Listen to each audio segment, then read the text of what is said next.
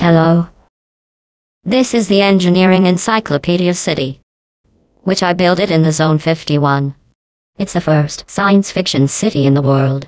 I start build it in 1947. Now it's time to show it to the world. Please like and share. And don't forget subscribe our channel.